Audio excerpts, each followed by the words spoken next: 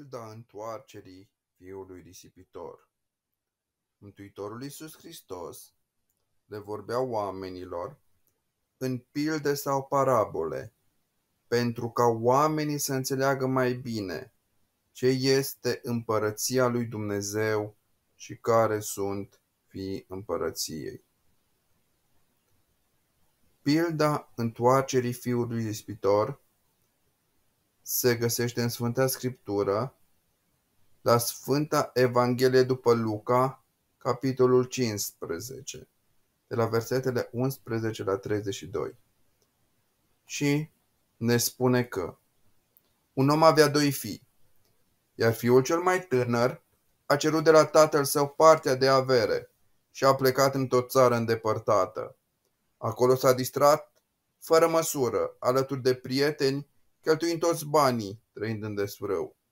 Apoi, el a fost părăsit de prieteni, iar el a fost nevoit să îngrijească porcii unui locuitor al acelei țări și dorea să mănânce din roșcovele pe care le mâncau porcii, dar nici acest lucru nu-i se îngăduia.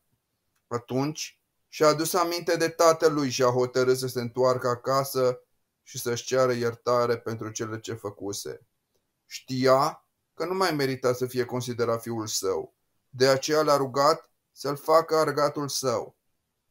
Însă, când s-a întors acasă, tatăl său, care l aștepta cu nerăbdare, bucurându-se, a poruncit slugilor să-i pună inel pe deget, să-l îmbrace cu hainele cele mai bune și să pregătească un mare ospăț în cinstea întoarcerei fiului său pierdut. Fiul cel mare întorcându-se de la țarină. S-a mâniat când a auzit dorința tatălui, căruia îi slujise și nu îi încălcase porunca niciodată. Dar tatăl, înțelegându-l, i-a explicat cu multă înțelepciune și dragoste că tot ce are el este și al lui și că trebuia să se bucure pentru fratele lui care mort era și a înviat, pierdut era și s-a aflat. Haideți să vedem împreună ce semnificație au simbolurile din această pildă. Pe cine credeți voi că reprezintă Tatăl din pildă?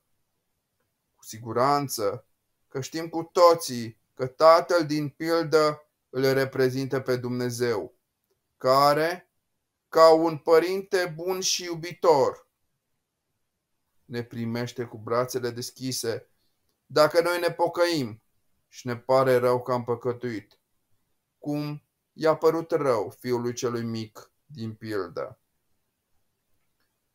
Deci, aceasta este explicația simbolurilor din pilda întoarcerii fiului ispitor. Tatăl este Dumnezeu. Cei doi fii sunt două categorii de oameni astfel Fiul cel mic îi reprezintă pe oamenii păcătoși, care risipesc darurile oferite lor de Dumnezeu. Fiul cel mare îi reprezintă pe oamenii credincioși, care ascultă și împlinesc cuvântul Domnului. Averea reprezintă darurile primite de om de la Duhul Sfânt în taina mirungerii. Țara Sfânt reprezintă îndepărtarea omului de Dumnezeu și căderea în păcat. Cheltuirea averii reprezintă risipirea darurilor primite. Roșcovele, fructe la început dulci și apoi amare asemenea păcatelor. Venirea în sine, mustrarea conștiinței, care este glasul lui Dumnezeu din om. Slugile sunt îngerii. Îmbrățișarea Tatălui reprezintă primirea pocăinței Fiului și iertarea acestuia. Inelul pe deget pe care l-a pus tatăl îl reintegrează în demnitatea de fiu, oferindu-i statutul de moștenitor. Încălțăminte în picioare reprezintă puterea de a merge pe drumul cel bun spre mântuire. La fel ca în pilda fiului risipitor și taina pocăinței, are patru faze sau momente distincte. Prima este căința sau părerea de rău pentru păcatele săvârșite. A doua este spovedania sau mărturisirea păcatelor către duhovnic. A treia este îndeplinirea canonului de pocăință dat de duhovnic. Și a patra fază, dezlegarea sau iertarea păcatelor pe care o dă Sfântul Duh prin duhovnic. Noi, ca și creștini, avem câte ceva de învățat de la fiecare personaj din această pildă astfel.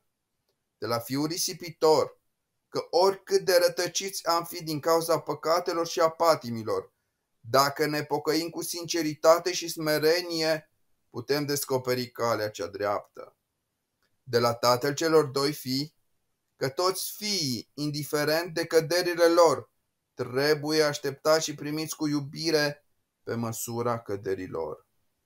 De la fratele cel mare al fiului risipitor, că putem deveni mici cu toată credința noastră arătată, dacă nu îi înțelegem pe cei care au păcătuit, dar s-au întors la Dumnezeu. Părintele Arsenie Boca ne mărturisește că dragostea lui Dumnezeu față de cel mai mare păcătos care se pocăiește este infinit mai mare decât dragostea celui mai mare sfânt față de Dumnezeu.